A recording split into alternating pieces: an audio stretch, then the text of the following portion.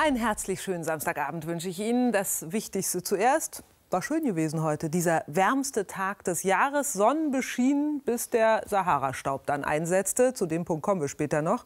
Erstmal aber zu dem, was jetzt gerade vielerorts abläuft oder besser fackelt. Die Osterfeuer, nämlich eigentlich ja dazu angefacht, den Winter zu vertreiben. Viktor Marquardt ist in Gato, bei einem der größten der Stadt. Dort wurde schon um 17.30 Uhr angefeuert. Da kam aber bei schlappen 22 Grad wahrscheinlich nicht so was wie Lagerfeuerstimmung auf, oder? Osterfeuer, das gab es auch noch nicht so oft. Und dann ist da noch ein Osterbrauch, der gar nicht besser in die Zeit passen könnte.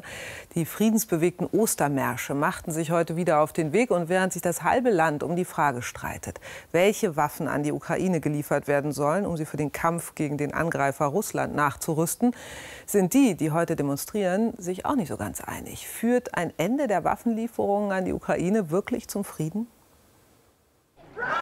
Heute Nacht ist es wieder soweit. Ein schwerer Fall von Zeitdiebstahl. Ganze 60 Minuten werden uns genommen, ersatzlos gestrichen. Und wer morgen früh raus muss, für den wird sich das noch früher anfühlen, als es eigentlich müsste.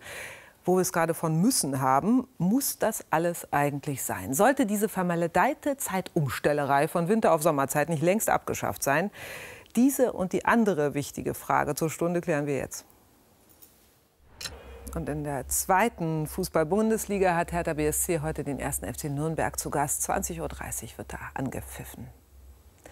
Sie ist mittlerweile eine echte Institution, die Suppenküche am Helene-Weigel-Platz in Marzahn. Die langen Schlangen, die sich da eine warme Mahlzeit und ein Lebensmittelpaket beim Deutschen Roten Kreuz abholen, zeigen, dass diese Nothilfe dringend und von immer mehr Menschen gebraucht wird. Uli Zeller hat sich das mal aus der Nähe angesehen.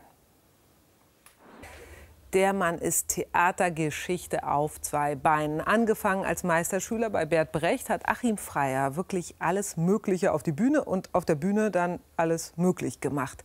Als Kostüm- und Bühnenbildner, als Regisseur und heute gab es auf einer ebensolchen, der der Staatsoper Ach, und ein berühmter Maler und sinniger Kunstsammler ist Achim Freier übrigens auch noch. Dazu noch einer von der großzügigen Sorte, denn er hat dieser seiner Lebensstadt einen ganz besonderen Ort geschenkt. Weil sein Wohnhaus in Lichterfelde über und über mit Kunst bestückt ist und er sich nicht mehr allein dran freuen wollte, machte er jeden Sonntag ein Museum draus. Und da passt es dann mal das Danke als Haus. Wenn Sie heute aufmerksam in die Kirschblütenpracht geschaut haben, und ganz ehrlich, wer tut das nicht mal ganz gerne, dann haben Sie sie wahrscheinlich schon entdeckt. Die ersten Bienen sind unterwegs. Vielleicht sind Ihnen da auch einige Mitarbeiterinnen der riesenhaften Honiggenossenschaft begegnet, die wir Ihnen jetzt vorstellen.